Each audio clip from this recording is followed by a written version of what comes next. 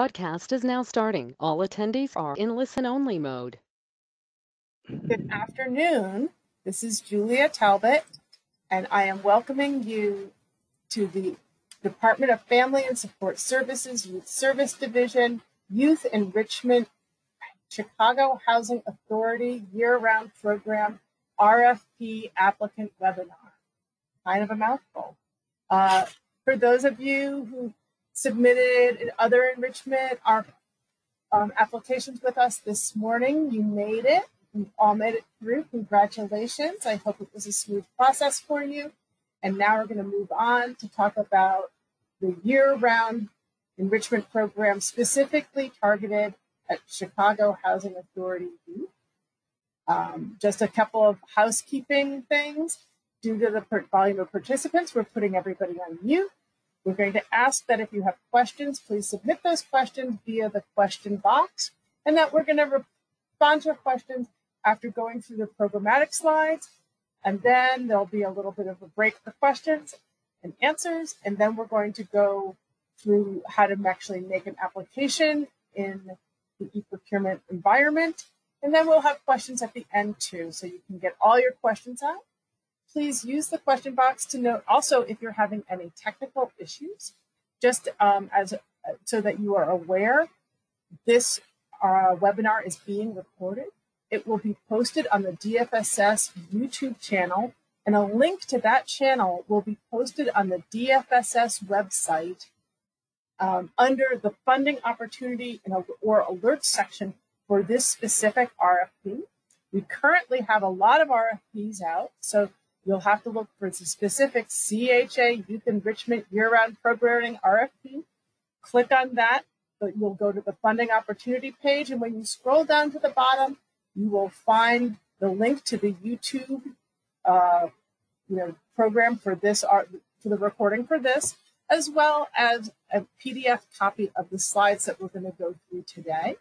Please give us a couple of days to get that link ready and posted for you. It has to go through a lot of hands to get posted. So I'd say give us, you know, at least 24, if not more like, you know, 48 hours to get that posted. Um, and then enjoy it as we do. Um, so I think that's all I have to say in terms of housekeeping.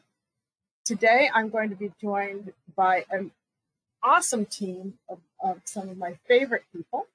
We'll be joined by Ebony Campbell, who's coming from us with from the CHA today as the Director of Resident Services, our very own Maria Guzman Rocha, who is the Director of Enrichment Programs here, and Cesar Garza, who is a Youth Service Coordinator with a wealth of institutional and uh, forensic historical knowledge of the workings of the enrichment profile.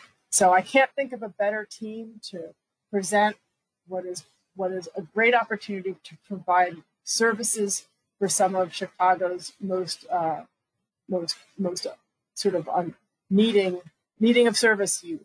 There's a better way to say that, but I'm pretty sure that somebody else can do that. I'm now going to turn this program over to this trio and uh, take it away.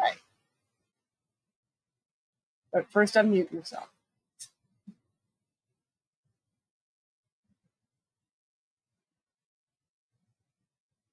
Great. I'm, I believe you all can hear me, so I'm gonna, I'm gonna proceed. Hi, everyone. My name is Maria Guzman Rocha.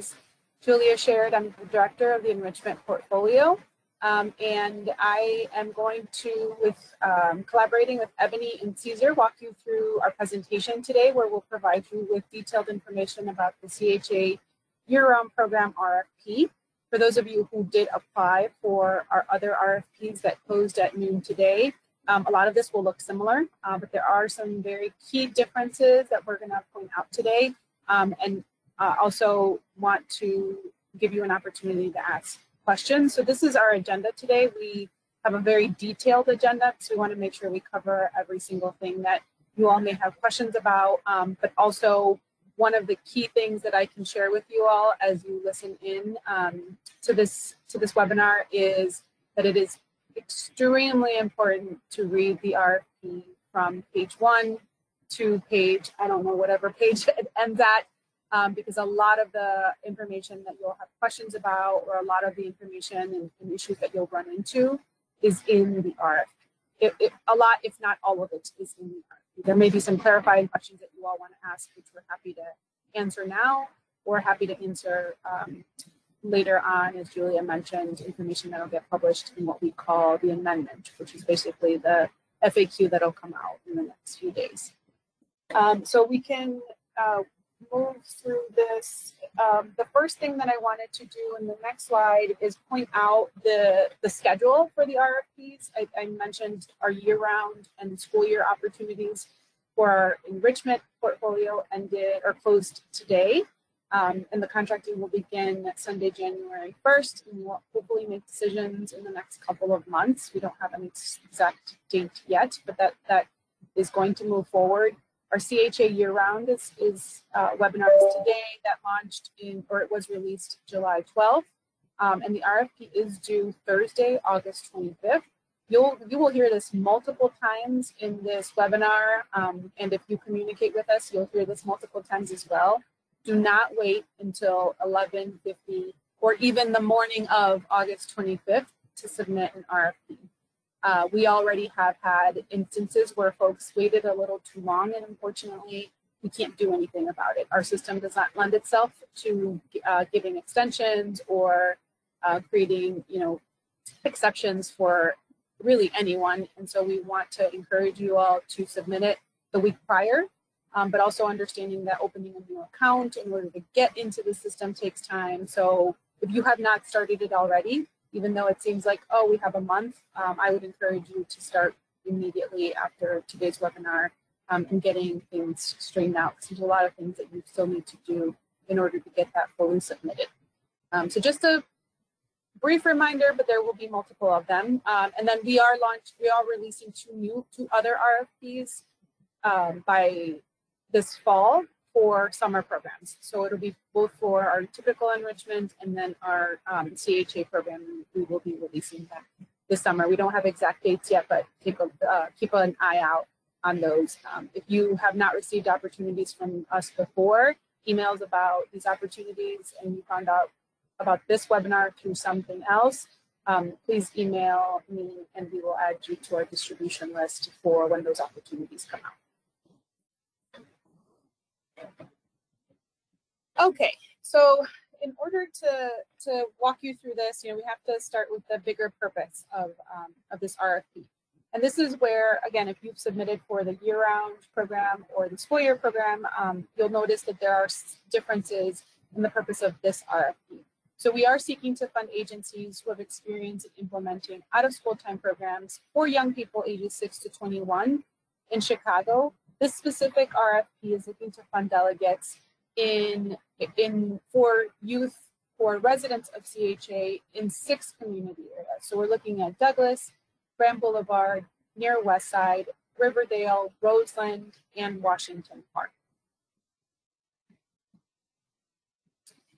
And so the goals um, are still very similar to the general goals of the enrichment portfolio altogether, right? We whether we're serving young people in one area or another, or that have um, one need or another, we still want to make sure that delegates are providing youth with meaningful and enriching programming that leads to them feeling safe and supported, that builds their social, emotional, um, um and cognitive skills and reinforces them, that develops positive relationships and belonging with peers and adults, and that provides leadership opportunities. So it's still very important for agencies, whether they're serving um, whatever types of young people they're serving, that it provides them with all these opportunities.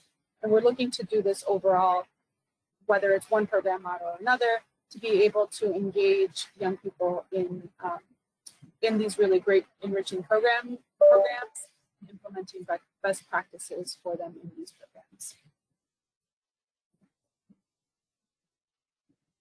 Um, so just a couple of, of slides around um, the background of out of school time programming. I'm probably preaching to the choir, right? You all, if you're interested in this in this opportunity, you all are are or are interested in doing out of school time programming already. And so we really want to emphasize that we are going off of um, research-based practice and also practice-based research, right? The understanding that research has found out of school time programming uh, beneficial to young people in several ways, um, gives them access to caring adults, you know, promotes their health and well-being, um, that leads to these positive outcomes, including young people having a more positive self-concept, better problem solving and decision making skills, more interpersonal skills, et cetera, et cetera. You all are all able to read this. And like I said, I'm probably preaching to the choir. Um, but not only does it benefit young people in, in creating these opportunities um, for positive outcomes, but also the sense that there are protective factors that this participation in out of school time program can lend itself, including uh, fewer problems in childhood, in adolescence, lowered rates of substance abuse, fewer problem behaviors, improved performance in school. The list goes on and on. These are just really examples. Um, and programs and activities can provide these critical foundations to support healthy development and really prevent um, instances of violence, whether at the personal level or um, within the, the programs themselves and the communities these programs sit in. Um, one of the things that we, you know, we want to make sure that folks know about is um, that out of school time programs, and particularly those that were DFSS, DFSS funded in the past, have a unique ability to, to adapt and expand services to meet the young the needs of the young people that they serve. And a, and a lot of what happened, especially during COVID, we're coming, you know, hopefully out of a pandemic, um, but our agencies understood this need for out of school time uh, programs to provide these protective factors to create these safe spaces for young people and a lot of what our programs did was pivot to ensure that the basic needs of families were met. Um, and that was through everything from creating um, food pantries to you know, support lines to ensuring families had access to PPE. Um, and so it's really important for us at DFSS to work with agencies that understand the holistic concept of uh, serving the needs of young people.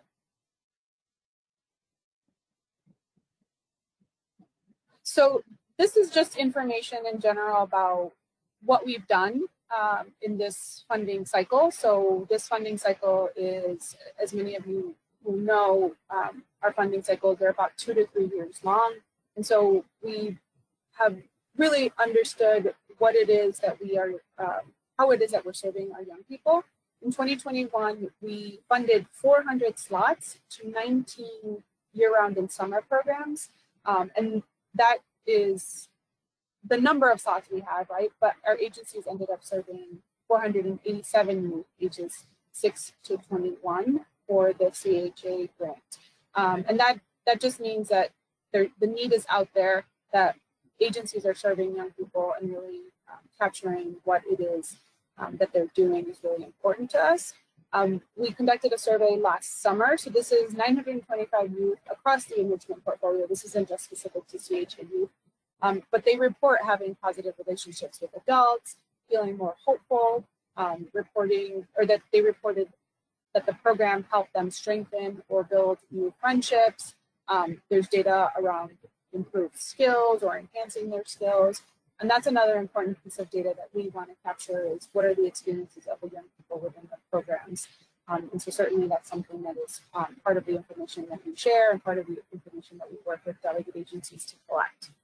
Um, and so in terms of the priority areas that we've mentioned about serving uh, youth in those community areas, the data that you see here is where the youth were coming from. And that just means that this is the home address that was listed in the database that we have.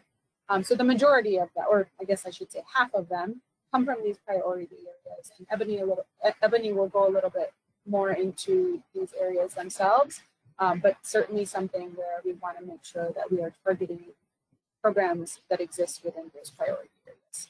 Um, and so priorities for improvement are those areas that we want to continue moving towards. One of the things that we have worked on um, in this past funding cycle and in the past few years, not just in the enrichment portfolio, but also in our other youth division programs, uh, is moving toward best practices, whether that's practice informed um, or research informed, really understanding the experiences of our of our agencies, um, we want to make sure that we are aligning more with what are the best ways to serve young people and to lead to the best outcomes.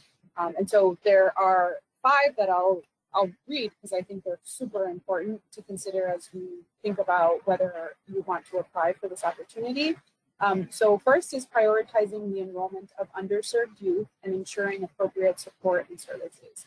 Um, and so that's really instrumental in thinking about the target population for this specific RFP um, and for the others if you apply for the others. What is the target population that we're looking to serve for this particular um, opportunity? Uh, the second is programming that fosters positive youth development through accessible and equitable approaches. Um, program design that continues to be more aligned with research and youth development and out of school time programming. Um, you know, we, we want to make sure that agencies keep in mind that we're not just opening the doors and offering, you know, free gym for three hours of the day um, and not really keeping in mind best practices that are out there in youth development, whether you're doing project-based learning or whether you're doing um, more of a you know cohort model based uh, program. And so really just thinking through what is already out there how can, if we already exist, how can we improve our programs? How can we align them more with what's out in youth development um, and best practices? Um, and then the fourth is focused programming and developmentally appropriate activities based on youth needs. Um, what we want to see is that respondents are ensuring that the activities that they propose, that the uh, the way that they're structuring their programming really keeps in mind the age groups that they're serving so you're not going to serve six to 10 year olds the same way that you're going to serve 15 to 18 year olds, um, or however the, the age groups separate because they have different needs. You know, young people have different needs. It's not just about ratios, it really is about the types of activities that you are um, implementing and the way that you're implementing it, the way that you're staffing it, et cetera, et cetera. Um, and then finally, prioritizing continuous improvement, focusing on using data to make programmatic decisions. Um, if you are a funded delegate currently, our, you know, our learning cohorts have been more focused on data, on using data to see what it is that we, we could do better, um, what areas to celebrate. And so just ensuring that, that that's part of the plan is to utilize that type of model to make programs better. Um, so now I'm going to pass it over to Ebony Campbell from the CHA, and Julia introduced her. She can introduce herself as well to talk a little bit about the community areas that are the focus of this RFP and the target population. Awesome. Thank you, Maria. So hi, everyone. I'm Ebony Campbell. I'm with the Chicago Housing Authority, and I get to oversee the authority's academic achievement and economic independence impact areas and I get to assist our residents in building their mm-hmm. confidence, assets, and well-being. So first, I wanted to give a little background for those of you who are unfamiliar with the CHA. We are the third largest housing authority in the country. We kind of waver between the second and third. Right now, we are the third, and we serve about 63,000 families and more than 135,000 individuals through our public housing and voucher programs. Support for those families is primarily delivered out of our Residence Services Division, which is where I work, and we focus on four impact areas, two of which I previously mentioned, and those other two include earning power and stability slash quality of life. And so particularly when it comes to our youngest residents, our young people, we know that as a houser, we do have a shared responsibility to create those opportunities, the partnerships with entities like DFSS and its delegate agencies to help our young people thrive into adulthood with the skills, with the credentials for family sustaining wages and jobs. And that's why out of school time programs are important, especially during the summer when so many young people are disconnected from the supports the services, the relationships that they need, that they count on for their education and well-being. That's a little bit about us. Um, the community areas that um, Maria mentioned, they're a little um, scattered here, but I wanted to, if I can remember, we did talk about Douglas, Grand Boulevard, near West Side, Riverdale, Roseland, and Washington Park. I did want to call out that these community areas do have a large number of CHA youth. And so, roughly about 30% of our resident population within those community areas are between the ages of 6 through 21. So, when I think of um, Riverdale or, or Roseland, that's where our uh, Altgeld community is uh, in and around, our uh, Altgeld development is in and around that development. we have more than um, a thousand young people within that age group um, that are eligible to be served through this RFP. Did you want to move to the next slide, Maria? And so, uh, again, in terms of target population, uh, we talked about community areas, um, but this RFP, this program intends to serve 120 CHA youth. Uh, those priority areas, again, are Douglas, Grand Boulevard, near West Side, Riverdale, Roseland, and Washington Park. Because we are funded in large part by HUD, our programs are specifically for CHA residents. Uh, if you're curious about if your prospective participant is a CHA resident, CHA residents will have a client ID number. It's also referred to as a voucher number, which allows us to verify residency through our system of record. Uh, otherwise, you'll know you're a CHA resident if you're included on a lease at a CHA family, mixed income, scattered site, or senior property, or if you're renting in a private market through CHA's Housing Choice Voucher Program, which is formerly known as Section 8 program. And I'll turn it back over to Maria. Thanks, Ebony. Um, and folks, if you have any questions, please feel free to those in um, in the chat. Um, Ebony is a great resource in information. Um, as she shared before, she's got a ton of experience um, and can really provide support in terms of some of the questions that may come up about the target population. Um, in addition to the information that Ebony just shared, this target population um, slide is very similar to our other uh, RFPs, right? So we are wanting to ensure that this population or this RFP applications target CHA youth residents in Chicago, um, but the overarching desire is for programs to design and deliver high quality out of school time programming um, to meet the need of children and youth through safe, supportive, interactive, and engaging youth activities um, regardless of who they're serving, as I mentioned before. That's really important for us. Um, and that programs use a positive youth development framework to promote learning, leadership, and positive peer-to-peer -peer social connections. You'll notice, and it's really going to come through in the following slides as well, that we're not telling you to implement a certain curriculum or telling you to do certain activities or to design programs a certain way because we, we strongly believe that different communities and different you know equity zones in the case of the other RFPs have different needs that young people um, are universally developing in similar ways but that the communities and the context that they live in really guide the, the information that or the, the surroundings that they should um, be in.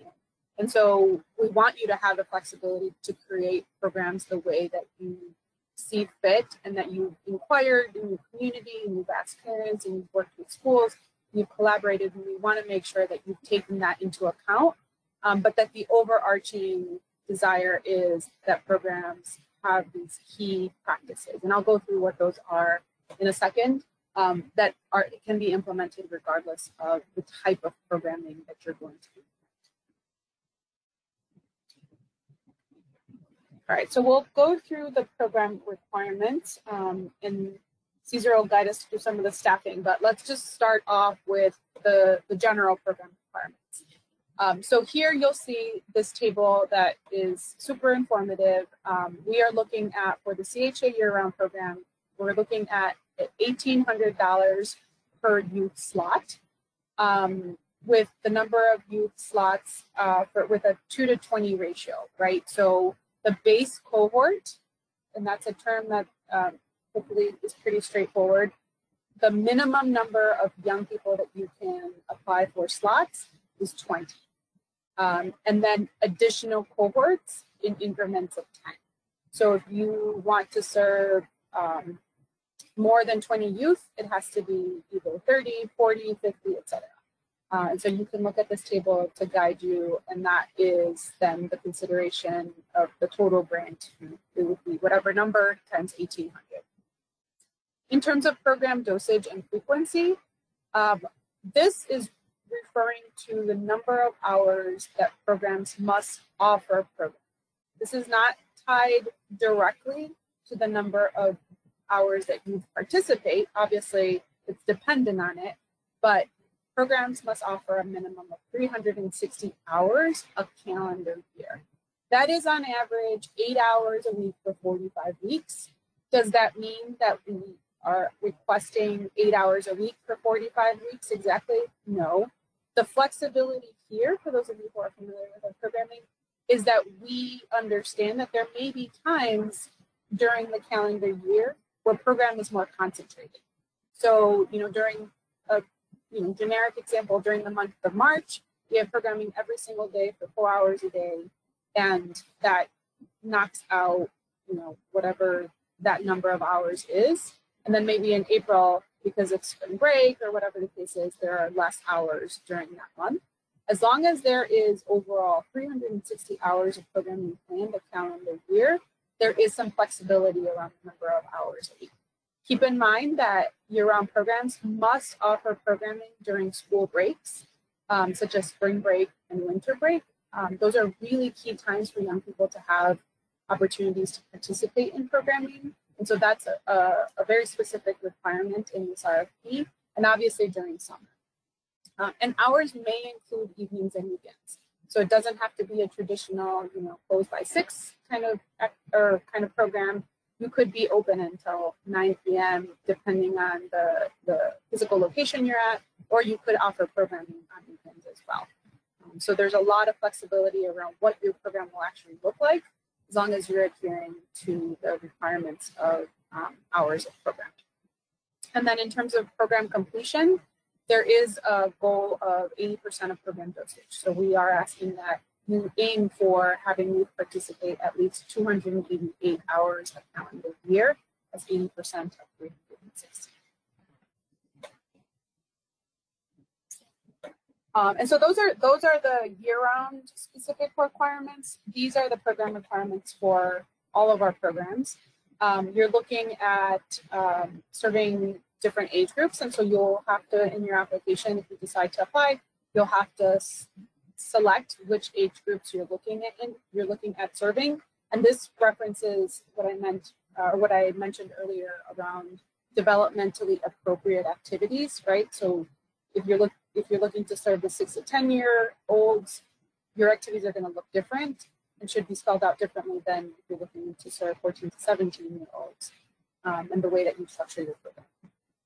And respondents may select multiple age groups. So you don't have to pick just one. You can select all of them, but you also need to be able to describe how you're going to serve them differently. Um, I mentioned the staff to use ratio earlier, um, and the program recruitment, we talked about that, looking at the priority community areas. Um, it's also important to uh, remember that eligibility is restricted to youth who are CHA Chicago residents and between the ages of 6 and 21. Um, in terms of program specialty areas, we have five listed here.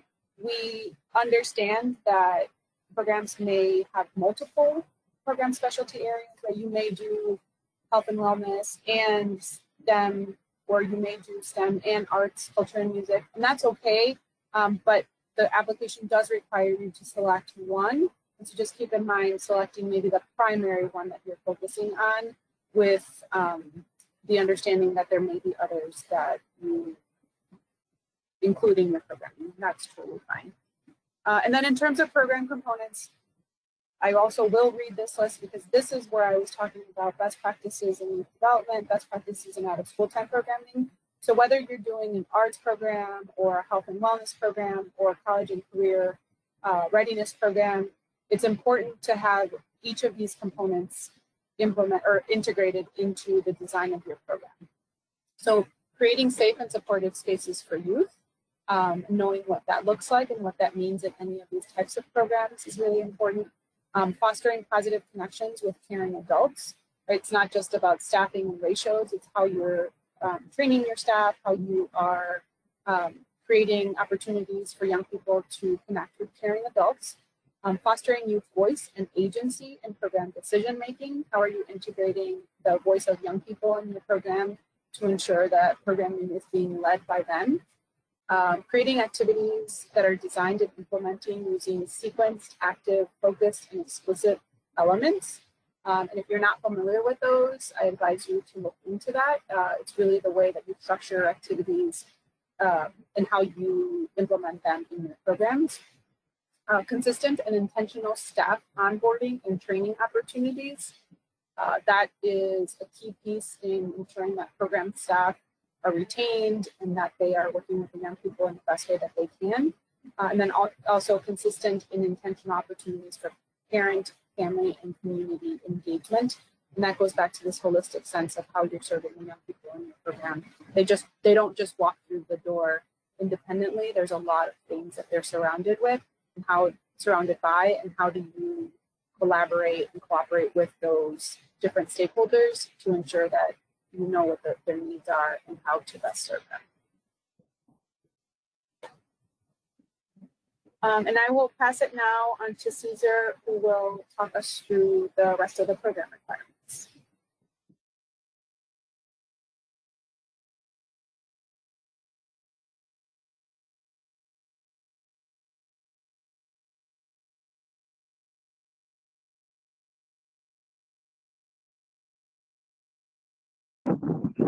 Thank you very much for, uh, for muting me. Um, good afternoon. Uh, good afternoon, everybody. My name is Cesar Garza. I'm a youth service coordinator in the youth division with Department of Family Support Services. I will talk about the program requirements uh, on the RFP pages as well. You can find them on page 10 to 13. Um, but the first thing I would like to talk about was that uh, is basically the respondents will have to recruit, hire, and manage program staff using 2 to 20 staff to youth ratio as Maria spoke about that earlier. Program staff should be positive, enthusiastic, civic-minded individuals with connections to both their community and the world outside their community. Program staff should, ensure uh, program object, uh, objectives that are met uh, while also providing individual and group support, instruction, coaching to youth participants in culturally component environments. Uh, Many of you are familiar with CitySpan already, so we do require data entry in data collection on our CitySpan database. If you're not familiar with that, we will definitely train you. Um, preference will be given to agencies who hire program staff with experience in and those who come from communities in which the program is located. I cannot emphasize this enough, but positive youth development, there's a lot of research out there on, on various podcasts that I've been listening to, TED Talks, numerous articles on positive youth development. I strongly encourage you to, um, to review those as well. Things that are out there on the internet regarding this positive youth development. If you could please go on to the next slide, please. As we continue on the program requirements, this process needs to be started before, as it takes time to get the federal fingerprints, mandatory reporters, uh, CPR, and the first aid. Prior to the program start date, staff must have all of these. All, the, all this documentation must be entered once again in our CitySpan database for verification to the program start date. Uh, and I want to emphasize that staff and volunteers cannot work with youth until background checks are completed. Uh, and some staff and volunteers can staff and volunteers can only work with youth in the presence of a staff person who has a clear federal fingerprint background check. So I would like to emphasize that. Uh, this is important and gives delegates time to, uh, regarding the program staff will be required to participate in the sponsored professional learning meetings. Some of you know them as the learning cohorts. Uh, during these meetings, we will learn about youth development, best practices in out of school time fields, on staff professional development. We're going to support you with around data and analysis, on cultivation of professional and personal networks. You have you're going to have a chance to network with each other and learn from each other. And it's going to be training on the City of Chicago processes and procedures. I want to emphasize this is important and it gives delegates time to network, highlight their programs, and learn from each other as we are continuously uh, learning to improve. Learning from each other is one of the good ways to um, to keep on learning. Um, if you could please go on to the next slide, please. Uh, program re requirements, you could find this on the RFP page 14, on the enrichment program procedure requirements, programmatic changes. Agencies are required to notify the DFSS Enrichment Youth Service Coordinator and the Director of Youth Services Enrichment Portfolio of any changes to staff, facility, facility, location, or work plan in writing within seven business days. These changes must be updated in your work plan in the system database within 30 days. Uh, the program written procedures, agencies, agencies are required to have written procedures for, to ident for identifying and reporting suspected child abuse or neglect. Agencies are also required to have written emergency procedures for a lost child and major minor injuries and written safety facility evaluation procedures. Uh, the program closeout procedures, DFSS closeout procedures must be followed if a DFSS funded agency program is closing for any reason. Once again, you can find this on the RFP page 14. If you could please go on to the next slide. Uh, the, the performance goals and outcomes. These are very important to us, and we're looking for the following here. As you could see, these are some important performance indicators. We will monitor the outcomes below through our data collection from youth, the parent guardian, staff at the beginning and middle of the year. As you can see, these are several of them that are here. Uh, you could also have respondents are also welcome to add their own performance measures to the application besides these, but these, these are the ones that we that we look for. As you can see here on the bottom on to monitor and recognize intermediate progress toward the above performance indicators. DFSS also intends to track monthly output metrics from delegate agencies that include but are not limited to the following. 90% of youth slots will be filled at any given time. 50 youth will meet the target criteria. 80% average daily attendance, and 85 of youth will complete the year-round program at least 288 hours a year. Like we always say, young people will vote with their feet, so it's very important that the average daily attendance is at 80% or above, and that you're meeting your enrollment numbers and attendance numbers. And you can find this information on the RFP page 14 and 15. And guidance for respondents. As we mentioned earlier, as Ebony mentioned, the RFP seeks respondents that can serve targeted community areas, the Douglas, Grand Boulevard, the near West Side, Riverdale, Roseland, and Washington Park. Collabor collaborative applications are strongly encouraged. The awards will be, will be made by community area. Respondents seeking funding for multiple sites in different community areas are required to apply for each community area separately. DFSS will make recommendations for contract awards by community area, balancing program location, target population, age group, and program specialty area. Respondents can only apply for a community area in which they can demonstrate a physical address. DFSS intends to award six agencies, each receiving 20 slots per contract.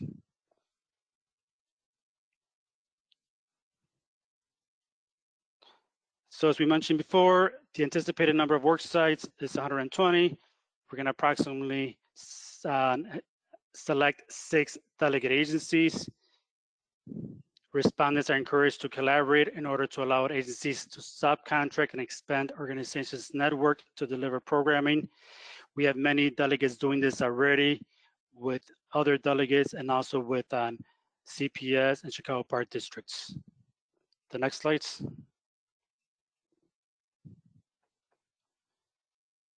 As we mentioned earlier, this table is very helpful. We reviewed the budgets as well. Respondents applying for year-round enrichment CHA RFP will budget for a rate of 1,800 per youth with a minimum of 20 youth per program in additional increments of 10 youth. The anticipated cost of a year-round program for a minimum of 20 youth is $36,000. Should respondents apply for more than the minimum of 20 youth, they can plan to increase their budget by $18,000 for an additional increment of 10 youth. Um, the budget provided below is an example of respondents' unexpected budget expenditures for serving 20 youth. So there's a very visual um, budget that you could um, use as an example. This is an example, like I said. And you can find more information on this on the RFP page 12.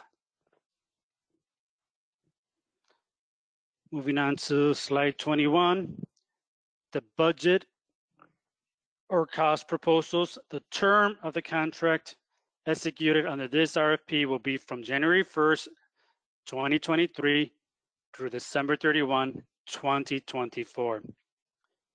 Administrative costs will be capped at 50% per application. Our respondents must be able to demonstrate a minimum 50% in-kind match. Please make sure you submit a budget for one year, 12 months of services. Cost category definitions are attached as a budget instructions in every RFP. Be thoughtful and inclusive when developing your budget. Apply for your program's actual costs. Use the reasonable cost questions on the application to discuss how you determine the cost reflected in the budget.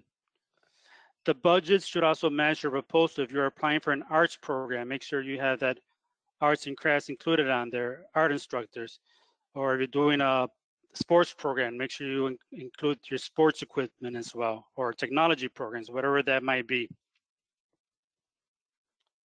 Please go on to slide 22.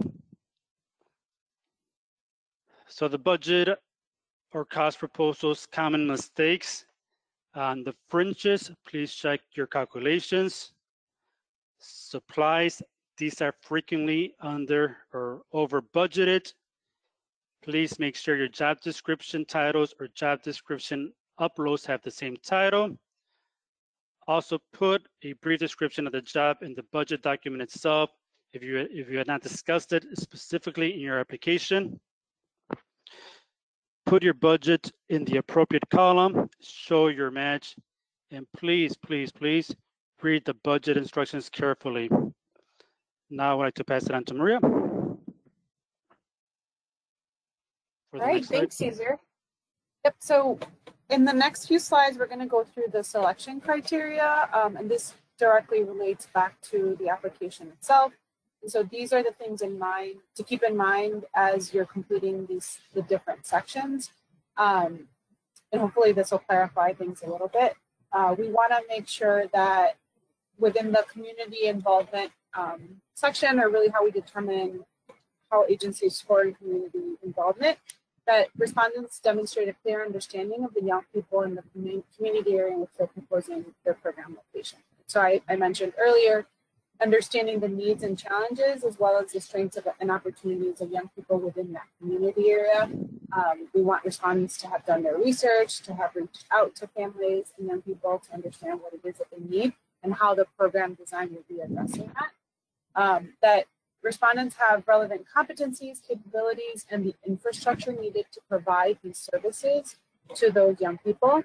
Uh, that respondents describe how the agency is seeking to be more inclusive in their internal operations um, as we continue to understand all of this um, programming, the programming aspects It's also important to keep in mind that we want agencies to always be working on how they can be better and how we can keep in mind being inclusive, um, equitable, accessible, things like that. And then finally, as an organization uh, and its board, that it reflects and engages the diverse people of the community it serves. So the selection criteria, organizational capacity uh, for the respondent demonstrates that the program staffing is sufficient for level of services proposed. The staff are qualified, culturally competent, or reflective of the communities to be served. Has adequate systems and processes to support monitoring program expenditures and fiscal controls.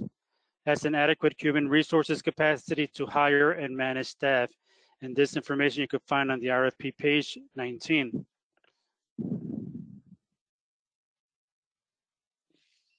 Uh, the strength of the proposed program section is obviously the, the what they would call the meat of your application, right? Or if you're vegetarian or vegan, like the, the main dish of what it is that you are proposing to serve.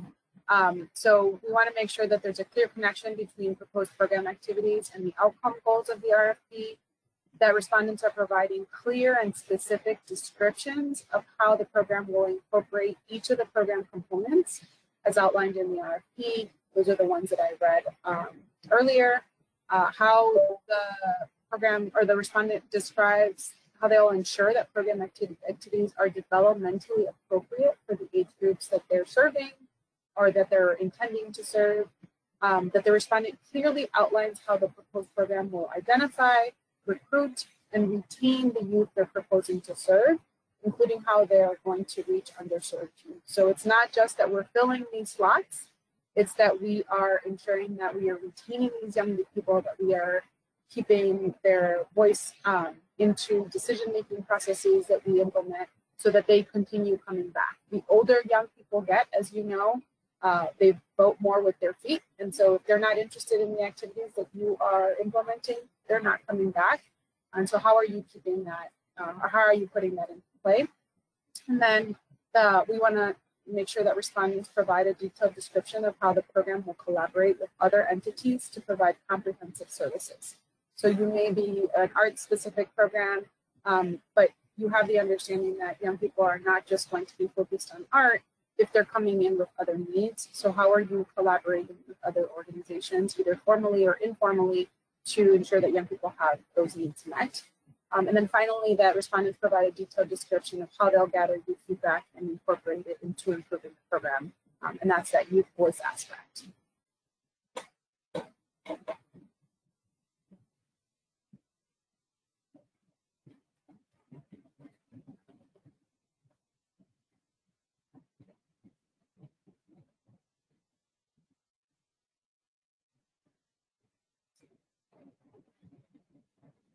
Okay, well, we'll go through this one as well. Um, in terms of performance management um, and outcomes, uh, we want to make sure that respondents demonstrate evidence of strong past performance in the same or similar programs against those desired outcome goals that Cesar shared earlier, um, and other notable accomplishments of providing services to young people ages 6 to 21. So if you've been implementing programs, that are that are similar and, and meet the same program requirements.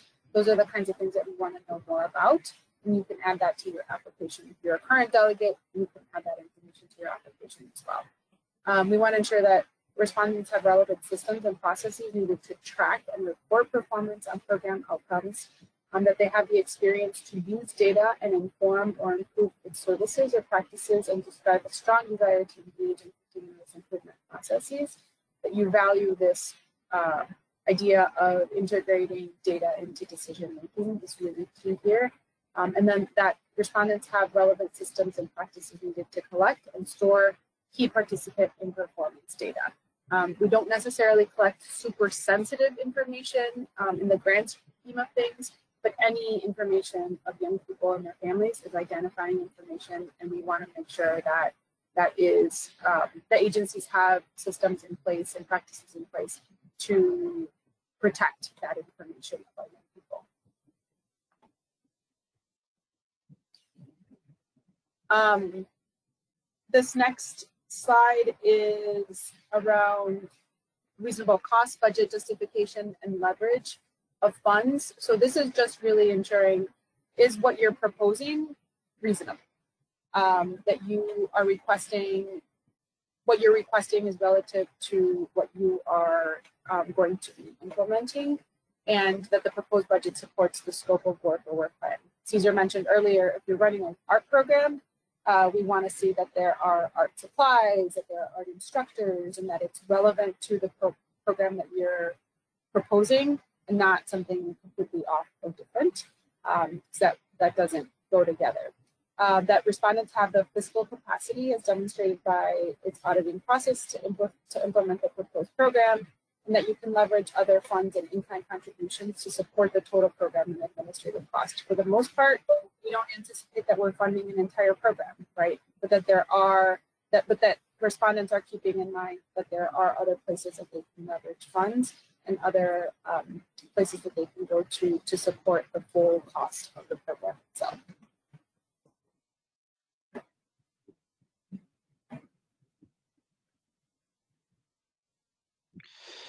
Hello, everybody, once again on the selection criteria attachments. And this is very important to upload current doc. Please upload current documents. And please upload the following documents: liability insurance, board member identification, SAM certification, certificate of good standing, bylaws and articles of incorporation, financial statement or the I-990 form, IRS determination letter, program budget forms, City of Chicago compliance acknowledgement form, conflict of interest, memorandum of understanding or linkages. This could be any um, linkage agreements with any other CBOs, uh, youth coordinator or program leader job description, CPS vendor confirmation or letter of intent from school principal if program is located in a school. Be sure to attach reports, studies, or other documentation that show performance toward reaching the program goals, demonstrate results and accomplishments. Be sure to attach the resumes for key staff that are overseeing the program.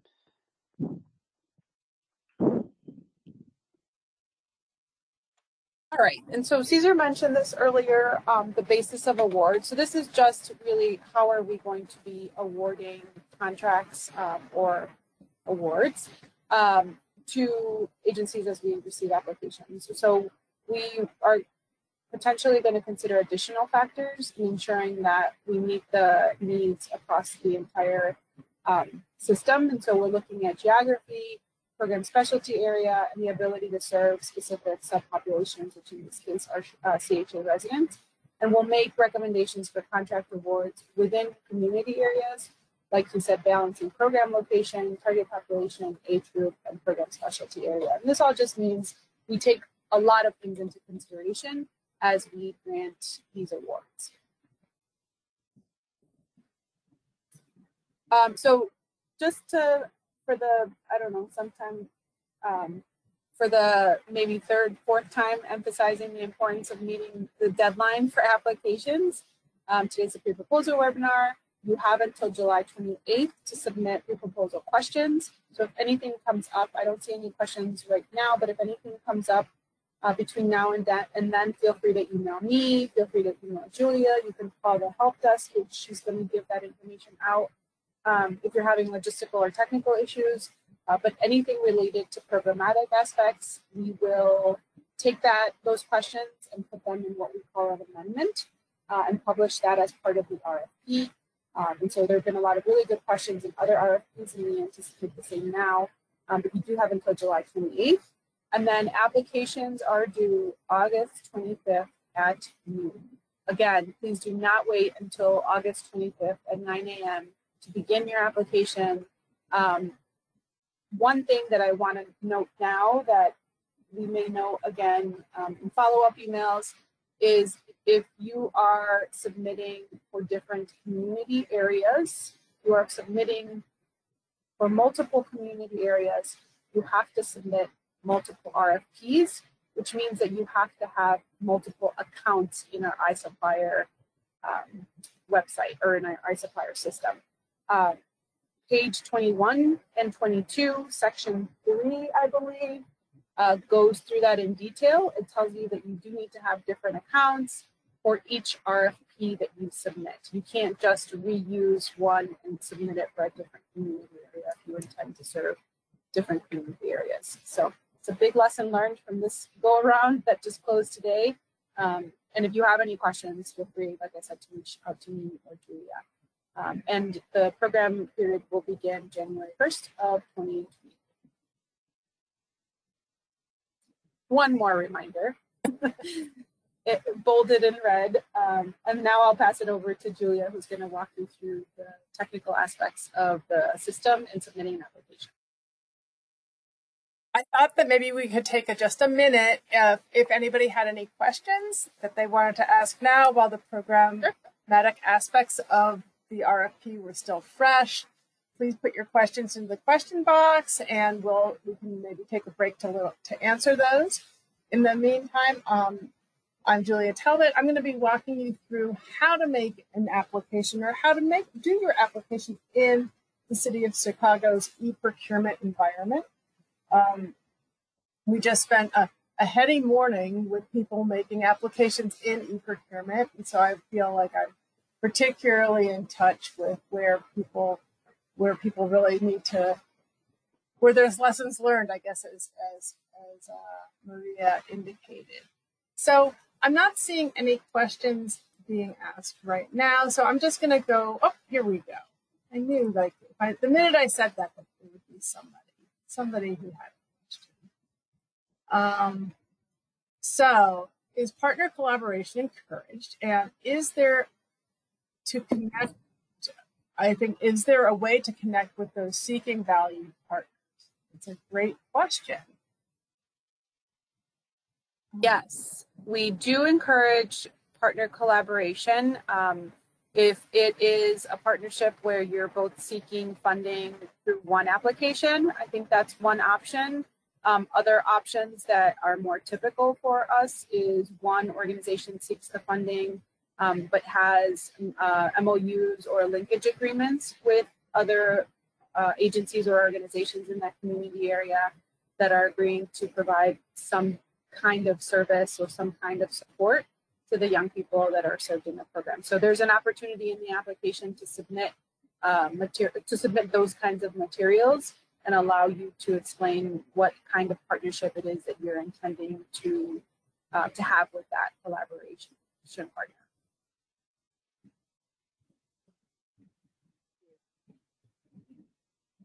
Great question. Thank you. Other questions? Um, I think I'm going to get just get started walking through the application portion, and if I see questions, we'll have time for. Oh, are there new programs? Are new programs eligible to participate? Yes, of course. We welcome new programs. We are opening this opportunity for funding because we are seeking um, new programs, improved programs, returning programs. Uh, if you meet the program requirements and criteria, we encourage you to apply for this opportunity and others as well. that is actually where we, even though some of our federal funding uh, is, allows us to enter into longer contracts by by rule, we at the City of Chicago tend to turn our contracts over every other year every three years so that we are able to keep new people or welcome new people into the fold and in, you know give them an opportunity to provide services. Um, oh, another thank you.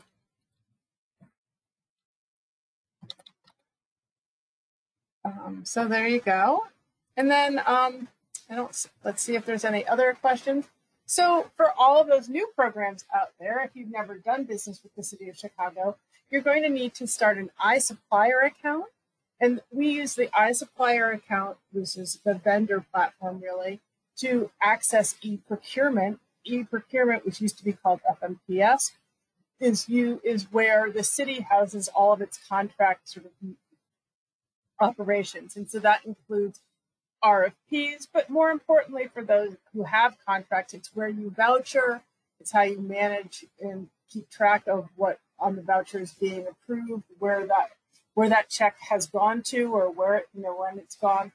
Um, people in you know the iSupplier, which is the vendor platform that is used to access e-procurement, is managed by the applicant or the vendor.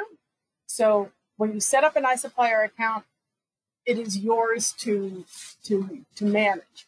Um, I can only stress to people, as somebody who's just answered a couple of questions, make sure that more than one person, you can have multiple contacts in the iSupplier account that can make it can do multiple operations in in e-procurement, but make sure that the person that has that master account, make sure that more than one person has access, more than one person knows that login or that password, because if that one master account holder goes on vacation or quits or leaves your organization for whatever reason, and they don't tell you the uh, password, it's going to be very, very difficult for you to access that account to switch in people or deactivate people. Um, I do generally get phone calls where people can't get in or they are having a hard time. And when I go in and look at their contacts, I can tell that nobody has really been actively managing that iSupplier account. And that makes it down the line harder for people to make good applications, right? When you have to wade through a million people that should have been deactivated or somebody forgot a password. And let me just say, I'm pretty sure from the number of calls I've gotten over the years that when somebody leaves their place of attendance for whatever reason, passing on the iSupplier passwords low on the list. It kind of very rarely happens. Um, so just I would just say at this point, make sure two or three people in your organization at all times knows that iSupplier password, and that will give will make your dealings in iSupplier and your management of your iSupplier account all be happier and you'll have the account working for you as opposed to you kind of working in, for the account. Um, when just as sort of an overview, all of our RFPs, the application questions, the selection criteria, and the evaluation tools that come out of those things are all connected. So I always tell people to review our RFP narratives and our RFP documents. I know they're dense, they're not easy reading. Um, I find them interesting, but maybe I'm in a minority.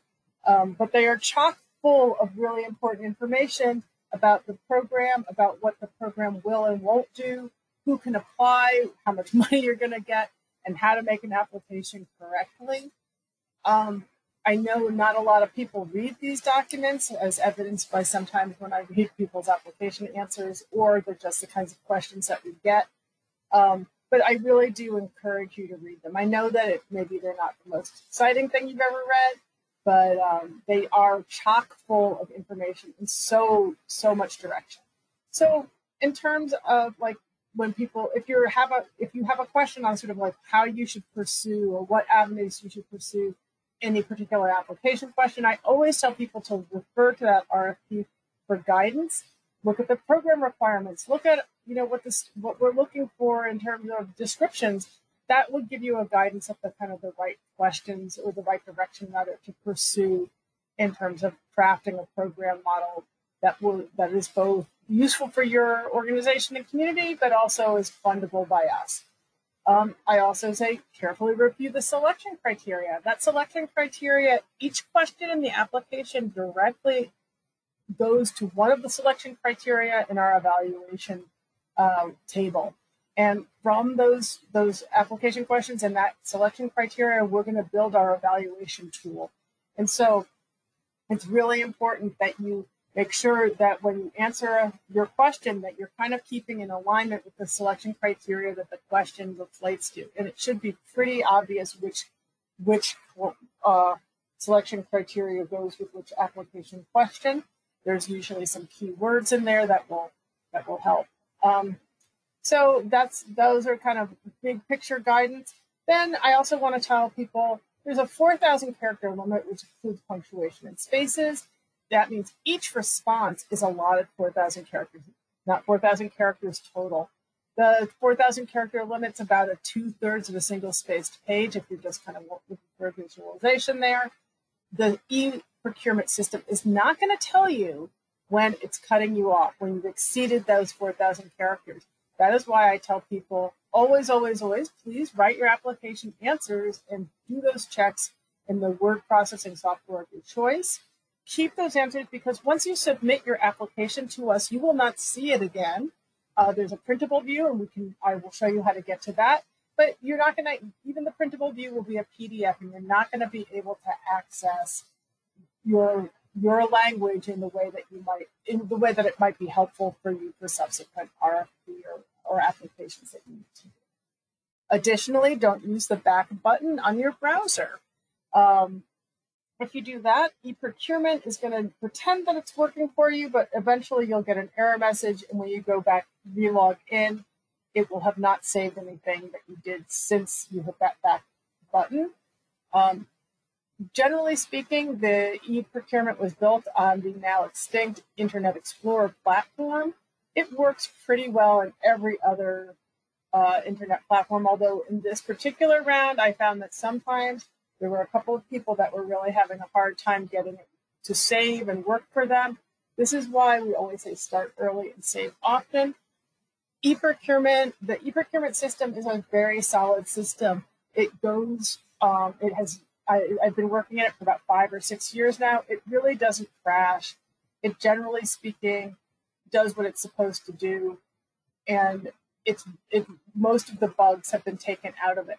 That being said, when we have these big RFPs and we get a lot of applications in, there's always a couple of people that have are having a problem because it's their computer is just doesn't there's something about the way their your computer is set up, the software you're using or the internet platforms you're using that is not working with e-procurement. And for the life of me, I can't figure out what exactly it is, but I and it's a very small percentage of people you know, it's sort of like 1%. So if I get 100 applications, there's one person having the problem, but it's still, you feel bad for that one person. You don't want to be it.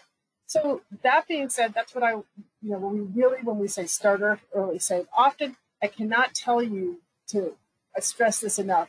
It, you will be so much happier if you can start early, if you save often, if you we have a due date that's August 25th for this particular RFP please, please, please submit the day before.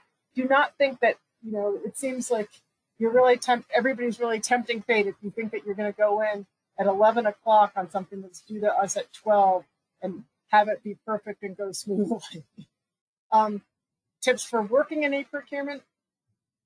as um, Maria said earlier, if you need to submit more than one proposal, which is allowable for this RFP, you are going to need to submit that each proposal under a separate, unique, registered account within your iSupplier account, or you know, account user with online bidding responsibilities within the organization's iSupplier account, using that individual login information. So if you are submitting three applications, you need to set up three accounts that have bidding responsibilities or bidding permissions. You know, one for Ernie, one for Bert, and one for Big Bird. Uh, they all can go to the same email address, but they need to have unique user ID, you know, user named, or else e-procurement is not going to accept it. If you try to submit multiple applications just using one user account, it is going to archive the last application. And I saw that with, I think, at least two people this morning where they submitted three things. And what you see is that they submit application one, they go in and they submit application two on the same, you know, under the same uh, user account, and it basically archives that first application and writes over and submits the second. So when we look at it, you've only submitted one application, but you have two other archived, you know, ones that now are registered sort of as like mistakes. So please, please, please pay attention to this if you want to make multiple applications, you need to get three different accounts within your iSupplier account. You don't need three different iSupplier accounts. You just need to go into your contacts and set up three different accounts that allows you to do that. Um, that being said, you can submit your application and later amend it up until the due date of August 25th. So you can go in, you can practice submitting if you're a new person to the system, and then you can pull that application back. The application that is that you pull back will be quote unquote will appear as being archived in our view. You know not to touch it. Um, and then you can do your updates, you can make your changes, and you can do that up until the due date in the due time. After that, you can't touch it, but before then, go for it. Um, as I said, avoid the rush of possible mishaps by submitting early. Plan on your submission taking a 30 to 60 minutes. I tell people to do it the day before. Writing writing grants is stressful enough. Why make the application experience even that more stressful? Have it be a relaxed experience where you can, you know, say a proper goodbye to your beautiful application. Um, one of the reasons that we're telling you all of these things is that late applications are not accepted. We cannot review an application that we do not receive through the e-procurement system, and the e-procurement system does not do extensions. If we do an extension for one person, we do it for every person, and generally speaking, that has that hasn't happened in a couple of years. More likely, we would re we would repost the entire RFP, and that would mean that everybody who had already applied would have to reapply, and we don't want that. To, we don't want to do that. It's not fair to those who got their things on time. So to that end, really start early, submit, you know, save often, and try to get those things in the day before. Um, if you need help, and many of us do, uh, at least in, you know in the e-procurement world, you can. There's a hotline at 312-744-4357. You can also email them, and the email is on the next slide. Please note that the hotline operates during business hours only, Monday through Friday, 9 to 5. You can also call me, and my app contact information is both in the RFP document as well as on the last slide of this PowerPoint. It's easy enough to get a hold of me. I often work different hours than Monday through Friday, 9 to 5, although I definitely work those too. Um, and sometimes I check my emails at off hours if I know that there's going to be a lot of people potentially having a problem we really our goal is to get as or at least my goal is to get as many people to apply for these RFPs as possible. I know that we do not always have the most user friendly system, so we want to give you all the supports that you need. Um, it helps us do a better job for you if you let us do if you give us some time to do it. Understand that the hotline system and sometimes my time is being split between this RFP and any number of other RFPs that my department is going out or throughout the city in the case of the hotline. So just because, and this is another reason to take do that submission of the day early, is that if you do need help, you might have to wait in line to get it, or somebody's going to have to call you back. Um, I make a point of calling everybody back or, or emailing them back within 24 hours, if not sooner. The e-procurement hotline does the best they can do. Uh, sometimes their their lines are a little bit longer, but they also have a higher um, level of access into the procurement system. And so, if if you run into some serious problems, they'll are the people that are going to be able to escalate your problem um, to to a different you know to a higher level and have things checked into. It's important then to give yourself the time to have if you have a problem that's going to be escalated and no one ever plans for this because why why would anyone it's against human nature but i can guarantee you the people that had problems this morning that needed their problems escalated were not you know they were not able to make their submission because sometimes it takes more than three hours to figure out what's going on or to even get it into the right queues um, in terms of technical assistance if you're looking to find out what more DFSS is doing for the RFP world, and this year alone, I just counted today, we've already released 23, 23 RFPs this year. So we have a lot going on. Um, I highly recommend that you go to the DFSS webpage. There's a link to funding opportunities, and we always post all the funding opportunities under the funding opportunity link, but also under the alerts section. Um, you would be able to click and alerts on the RFP that seems interesting to you. Remember for this RFP, the this is being recorded. The link to the to the YouTube video that this will result in and the PowerPoint slides are going to be posted at the bottom of the funding opportunity, and that's a standard place. They all get just posted at the bottom. You scroll down, it's sort of like the legal ad gets posted and the information, and then at the bottom it will say, "Hey, you want to you want to see the webinar? Click here. You want to look at the PowerPoint slides? Click here." The amendments that we do are going to be are going to be posted only on the e-procurement website. So if you're looking for the amendment, that's going to be posted in e-procurement, and we'll talk about how to do the amendments or get get a hold of that information next. Uh, just to finish up here, so you want to email, you want you need to get a hold of the helpline. It's customer support at cityofchicago.org or 312-744-4357 or help. Uh, I think that's easy to remember. If you're a person that really hates talking to other people about these things, there's a lot of training materials um, doc, both PowerPoints, you know, slides, screenshots, and videos at this website. You can also email me and I can send you a link, or I can also, half the time, uh, I have these on my desk and I can send them to you. So now we're going to just talk about two very, very common things that you're going to do in the e-procurement environment. And I want to just walk you through these slides so that you have a little bit of familiarity when you and you, hopefully you go and do them yourself. The first is how to accept amendment, and then the other we walk I'll walk you through is the submission process.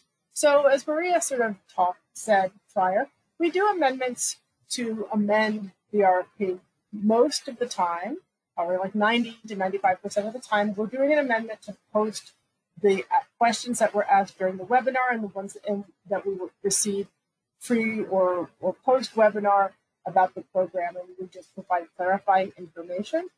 If we ever needed to um, extend the deadline, we would do it through an amendment. If we find a mistake, we do that through an amendment. If we make a change in a question or we need to make a substantive change to the RFP, we will also do that through the amendment document. To um, there is no way that you can actually make an amendment, make an application once an amendment has been posted without accepting and this is how you do it. So in these screens, you're going to see this is if you were going in to e-procurement to um, start an application. Under normal circumstances, you wouldn't get this warning. It would just say, it, would, it wouldn't say anything. And you would go to this actions bar on the right hand side and hit the create, create quote and hit go. That is how you would be starting your application process. If there's amendment, you'll get this warning saying you need to view the amendment history. So to start the process of accepting the amendment, and that's really all you're going to do, you're going to be able to do. The system is not going to allow you to start an application without accepting the amendment. You're going to click on this view amendment history, and then it's going to take you to this, this next page. So to begin the acceptance and acknowledgement process, you're going to look, you can look at a couple different things. Over here under the document number, you're going to be able to view the amended, uh, you're going to look at the RFP in total. You're not going to be able to start an application, but you can look at that. Um, over here in the middle, you can see this there's this one sort of one sentence amendment description, so you know what you're getting yourself into or why we're posting an amendment. And here under uh, bubble, you know, under two with this little eyeglass or infinity icon, if you click on that, you're going to see the actual amendment document itself. Um, I really suggest that you at least peruse it and see if there's something that that you know you probably might learn something new, uh, and that there's but you know there's usually like interesting clarifying questions. And after you've done all those things, you're going to acknowledge the amendment. By acknowledging the amendment, you are indicating that you were aware of the changes made in the RFP, in, you know, it, by that amendment. Um, you'll see in subsequent slides that the city of Chicago we're very in, we're very interested in making sure that you understand that you're going to be held responsible for the information in that amendment. Um, so when you click the uh, that, that, prior acknowledgement button, you're going to come now to this the acceptance button. You're going to come now to this acknowledgement, which you're going to accept the terms and conditions here with this very tiny button and then you're going to hit acknowledge. So you've accepted, and now you're acknowledging that you're accepted. And then after that, they're going to ask you to confirm the acknowledgement of your acceptance. I don't know why I'm going to no, but they give it to you as an option. And then you'll hit yes here. That will bring you to this final page where you accept the terms and conditions. Um, so after you accept the terms and conditions by checking this little box, you're going to hit the accept button on the upper or lower right hand side here. And then, then your life will probably be complete because you've accepted the amendment. When you accept the amendment and you've already started an application, by going through these slides, you will pull all of the information you already have submitted or you know as part of the application not submitted or at least started in the application will be pulled into the amended rfp so you're not going to have to redo your work. It will pull whatever you've done before. So there's really no there's no reason not to start an application prior to the amendment since we just have talked to you endlessly about how we really want you to submit you know start early and save often and submit early so now I'm going to talk to you a little bit about how to submit the application. So when you are done and you are ready to submit, you're going to save your graph one last time because why not save everything compulsively? And then you're going to hit this continue button. When you hit continue, the e-procurement system is basically going to take a real quick scan of your work. They're not looking for content. They're just basically looking for things that you might have missed. Um, I can't stress this enough. We're going to go through the two most common error messages.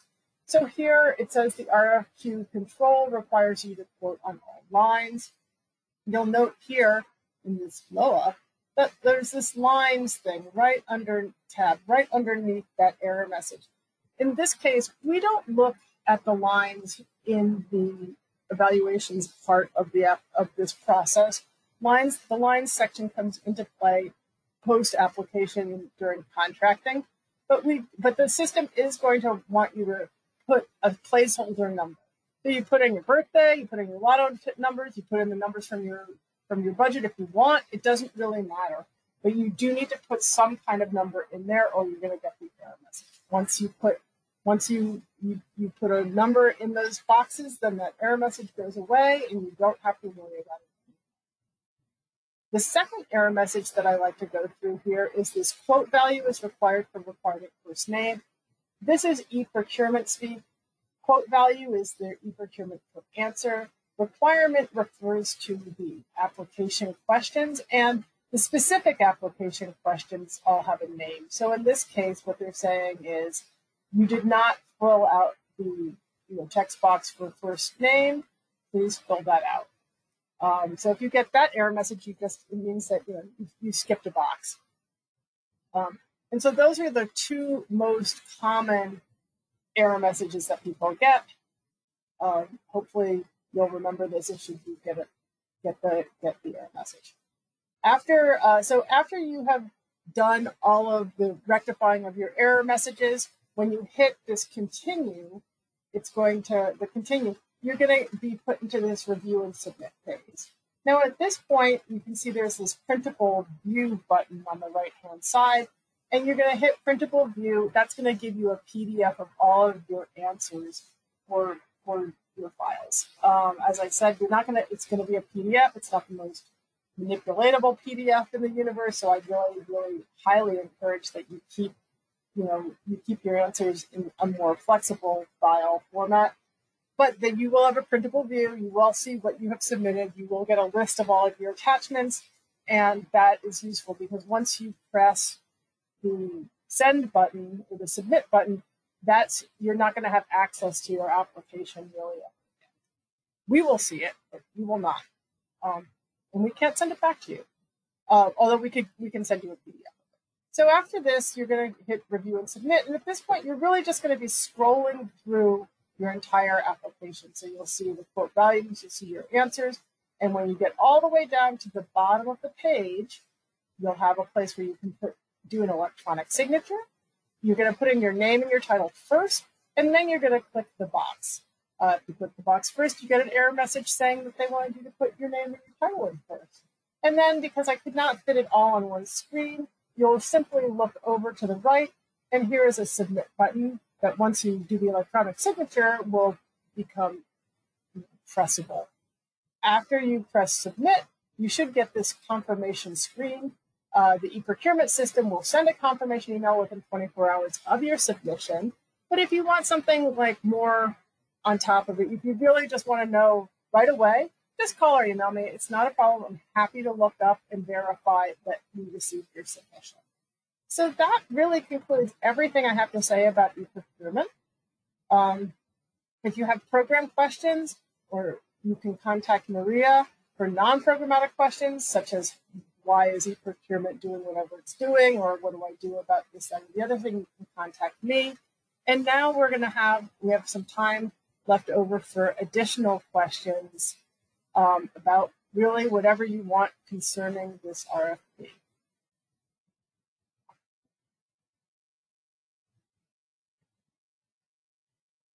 So, um, in the meantime, though, I can't thank you guys enough for coming to this webinar. And we're so, I mean, I I have a there's a special place in my heart for these enrichment programs. They do so much for Chicago's youth, um, and they I think they're you know they're a really good launching place in terms of fitting in with the kinds of programs for youth that the city is able to offer. In terms of people can start with their enrichment programs and then graduate to the summer jobs programs, and you know hopefully beyond you know, are there any other comments from for uh, on that note?